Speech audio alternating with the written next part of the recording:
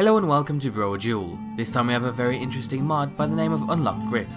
This is a mod that lets you switch between one-handed and two-handed combat, similar to the way you can in other RPGs like Dark Souls. The way it works is extremely simple, and you just need to activate it in the mod menu and then assign a hotkey. Then whenever you press that key, whatever weapon you have equipped will switch to the opposite side. If you start with a two-handed weapon, it'll redraw the weapon from one hand, and vice versa if you have a one-handed weapon in your right hand to start with. It's pretty fast, and the only real wait time is the drawing animation that plays when you switch, which you can do while moving and during combat, so there's no interruption to gameplay. When you switch your grip, the weapon you're using will behave in the opposite way. So, for example, an iron sword will look almost like a greatsword, and you'll even sheath it onto your character's back instead of your side. However, certain things remain the same, like swing speed. Also, weapons will still fall under their original skill trees, so even though you're using an iron sword with both hands, it'll only be affected by your one-handed tree. Hopefully this is something the mod looks into in the future, and can offer unique one-handed and two-handed trees that apply to how you use a weapon, rather than the type of weapon.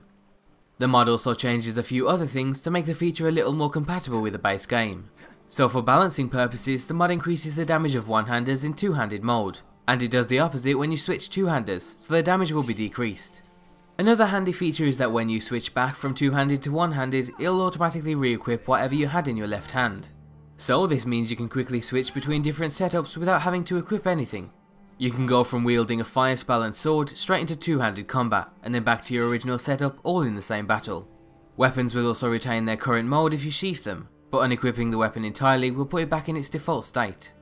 As you can probably imagine, the mod has to jump over a lot of hurdles and there's still several known issues. The system wasn't in the game to start with, so certain hiccups can be expected. Some of the more noticeable issues include invisible weapons in first person, especially if you mess with the menus or reload a save. There's also some less common issues like not being able to attack, or the weapon not returning to their default state.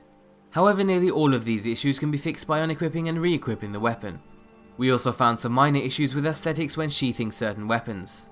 For most weapons it looks okay, but smaller daggers noticeably float off your character's back.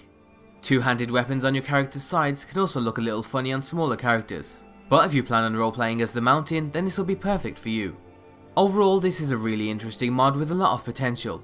In its current state, it's definitely usable, although as I just mentioned, expect some hiccups every so often. So if you're interested in the mod, then you can find everything you need down below. And as always, be sure to leave an endorsement on any mod you enjoy, and thanks for watching.